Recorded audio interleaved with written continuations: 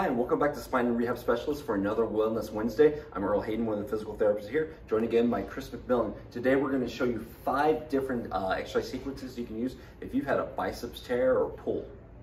All right, so the first exercise we're going to show is just basically, it's like a, it's a skull crusher or triceps extension.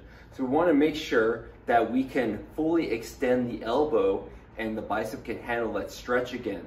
So you're just letting that hand come back down and then straightening up the elbow. If you need to, you can have the other hand right over here to support it so this muscle can stay nice and relaxed. We always have to remember that the bicep does bend your elbow, but it also helps you with lifting it up. Uh, lifting up the whole arm and even turning the hand over like this. There's a lot of things we have to attack with this. So doing this anywhere between, I mean, 10 to 20 repetitions, just trying to chase that motion should be good. Once you've got the full range of motion back at that elbow, you want to make sure you can control the descent of that hand, just slowly, gently working that muscle. So what Chris is going to do here, he's going to lift up his hand, so his other hand's doing all the work, and then slowly let this hand come all the way down. If you need to, you can always have your other hand there just as a support to make sure hand, you don't just lose control and the arm doesn't just drop on you, okay?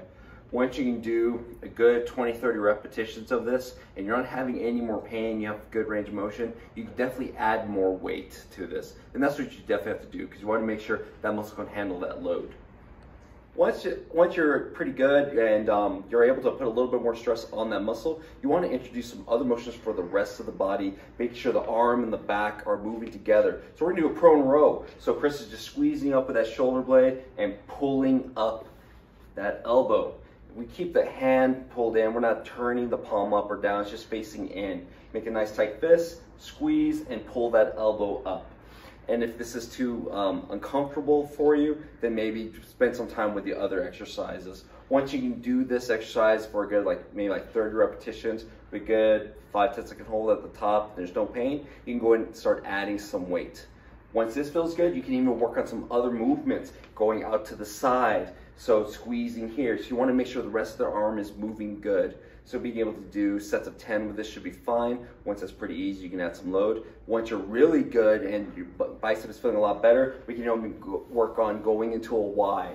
So Chris is going to lift the arm up here. So we're working on the bicep being able to keep support the whole arm and also help with elevating the arm over here and working all these other muscles. Again, the other thing we want to make sure to do is make sure we can rotate that arm around. That's one of the biggest functions for that biceps muscle is being able to turn that palm up. So we want to work on being able to turn it up. So we're using a dowel here and Chris is just going from just rotating that palm up to palm down. That palm down position is gonna put a little bit more stretch on that muscle. Again, you're chasing the motion. If this gets really easy, you're not having any pain, you do good like 20 repetitions of this, you can add more resistance by either A, choking up a little bit more on that dowel, which is gonna shift more of that weight to the outside, add more resistance, or you can even put on a weight at the end of that or use something heavier like a hammer, okay? Again, good 20, 30 repetitions should be good. The last thing we're gonna work on is making sure we can lift that arm up overhead. So we're gonna start with just raising up the arms a little bit right about shoulder level. So this is called a scaption raise. So if we notice, we're not lifting the arms straight up in front like this. They're actually angled out a little bit out to the side. We have the back up against the wall to make sure we're keeping everything straight. We're not doing some compensatory arching of the back. So everything's just nice and level. So we squeeze and lift up. Once this is a lot easier and you're definitely having no more pain on that bicep, we want to make sure we can go all the way up. So Chris is now going to go all the way up, trying to reach back towards that wall. Okay, and again, we want you to have no pain with this movement. Once you do a good 10, 20 repetitions of this, and there's no pain, you gradually start adding on some more load. And of course, your technique needs to be good.